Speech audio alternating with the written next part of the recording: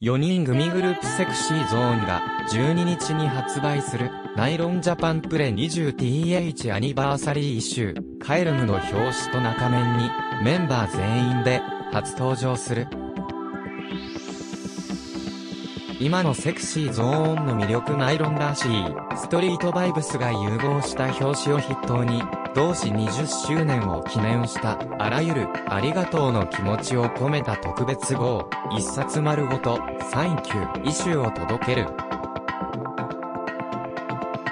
ゲイ4人体制そしてセクシーゾーン名義としてはラストとなるファッション誌登場となる表紙から始まるカバーストーリーでは全12ページうち2ページはソロ集合を含む両面ピンナップ仕様にわたって2パターンのルックでファッションポートレートシューティングを展開。